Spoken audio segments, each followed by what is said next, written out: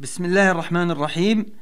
آه، في سياق شرحنا لأحكام الهمزة المتوسطة تذكرون أني قلت لكم إن الهمزة المتوسطة التي تأتي في وسط الكلمة إما أن ترسم بهذا الشكل على ياء وإما أن ترسم بهذا الشكل على واو وإما أن ترسم على ألف وإما أن ترسم مفردة على السطر وكنا قد انتهينا من الحديث عن رسمها على ياء. والحديث آه، عن رسمها على واو. وهذا اليوم إن شاء الله تعالى سنتحدث عن رسم الهمزة المتوسطة على ألف بهذا الشكل. أذكركم بالقاعدة في الهمزة المتوسطة. قلنا إنها تعتمد على قاعدة الأقوى إعطاء الحكم للأقوى. وذكرنا لكم أن أقوى الحركات هي الكسرة ويليها بعد ذلك الضمة ويليها بعد ذلك الفتحة. ثم إذا انتهينا من الحركات كانت العلامة الرابعة وهي السكون التي يضد الحركة أضعف العلامات الأربع. وقلت لكم أنه في حال كانت الحركة الأقوى هي الكسرة فإننا نرسم الهمزة على ياء. وإذا كانت الضمة فإنها ترسم على واو. وإذا كانت الفتحة فإنها ترسم على ألف. نقف هنا لنتحدث في هذا الدرس إن شاء الله تعالى عن رسم الهمزة على ألف.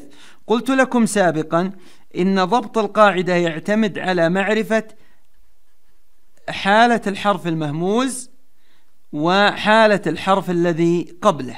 طبعا الآن سنسقط من خياراتنا الكسرة والضمة لأنه لو وجد كسرة فسترسم على ياء. ولو وجد ضمة هنا أو هنا فسترسم على واو. ونحن نتحدث عن رسمها على ألف. فالخيارات كلما تقدمنا كلما كانت أقل. لذلك الاحتمالات الممكنة الآن هنا هي الآتي. أن تكون أن أن أن أن, أن يكون الحرف المهموز مفتوحا. وما قبله مفتوح أو ساكن. في هاتين الحالتين سنرسم الهمزة على ألف. أو أن يكون الحرف الذي قبل الحرف المهموز مفتوح وبعده الحرف المهموز مفتوح أو ساكن. هذه القسمة العقلية وحينئذ سترسم أيضا على ألف. إذا نقول ترسم الهمزة على ألف إذا اجتمع الفتح مع السكون. بغض النظر عن الترتيب أن يكون هذا الساكن وهذا المفتوح أو هذا الساكن وهذا المفتوح وبالأمثلة يتضح الكلام إن شاء الله تعالى. لاحظوا معي كل هذه الكلمات.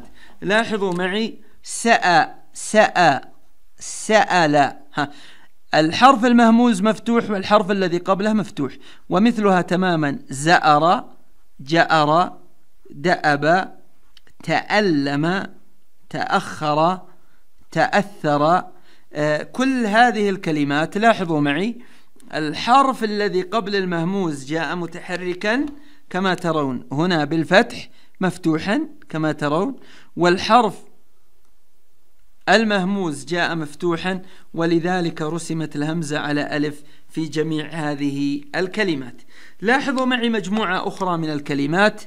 آه، آه، وأدى وأدى متأمل متأهل التأم يتأذى نأى نأى. لاحظوا معي هذه الكلمات. لا جديد فيها أيضا. أتى الحرف الذي قبل الحرف المهموز مفتوحا وأتى الحرف المهموز مفتوحا ولذلك كتبنا الهمزة على ألف كما ترون في جميع هذه الكلمات. ننظر إلى مجموعة أخرى. يس أل يز أر ير أس مس أله من منشأة. منشأة. هد أه طم أنا. وأد. وأد. وأدا ذهبت. وأد.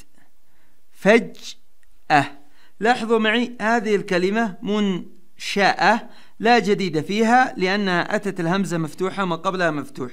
ولكن في بقية هذه الكلمات نجد أن الهمزة جاءت مفتوحة وما قبلها ساكن. إذا جميع هذه الكلمات أتت على حالتين لا ثالث لهما فتح مع فتح أو سكون وبعده فتح. ولذلك أعطينا الحكم للفتح فكتبنا الهمزة في جميع هذه الكلمات على ألف بهذا الشكل. لذلك لو سئلنا عن سبب كتابة الهمزة على ألف هنا في منشأة سنقول لأنها مفتوحة وما قبلها مفتوح. في مسألة لأن الهمزة مفتوحة وما قبلها ساكن. ننظر إلى مجموعة أخرى من الأمثلة. انظر معي إلى رأس. رأس. نجد الوضع آه انعكس عما رأيناه قبل قليل وهو أن الحرف المتقدم مفتوح والجزء آه آه ساكن. لاحظ معي. فأس فأر ثأر بأس فأل مأخذ مأكل مأثرة مأدبة مأرب مأمورة وأد وأد رأفة يأمر رأي يأنف مأساة استأصل استأصل لاحظوا معي أنه في جميع هذه الكلمات أتى الحرف المتقدم أتى الحرف المتقدم مفتوحا وما بعده ساكنا كما ترون. ولذلك كتبت الهمزة على ألف بهذا الشكل لأن الحكم للحركة لأنها أقوى من السكون كما رأيتم. لذلك نستطيع أن نلخص قاعدة كتابة الهمزة على ألف فنقول القاعدة تقول إن أتى فتح وبعده سكون أو سكون وبعده فتح أو فتح وبعده فتح فإن الهمزة المتوسطة ترسم على ألف.